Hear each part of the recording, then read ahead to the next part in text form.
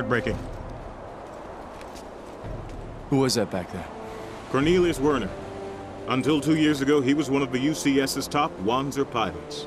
So he left the army? In a way, yeah. According to official records, he's dead. He didn't look dead to me. No. He's a ghost that haunts the Army's past. Cornelius was involved in the Phantom incident. A lot of good men and innocent civilians died that day. Cornelius and I were the only survivors. Wait, you were there too? Everyone else was killed.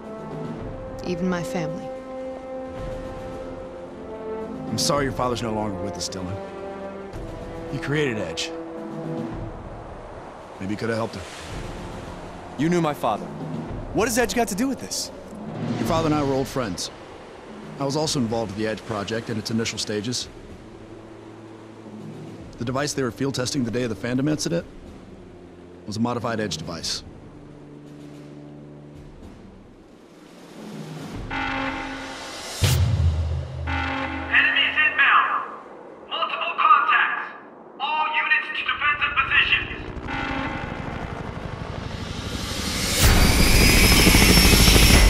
Our target is too far inland for short-range fighters.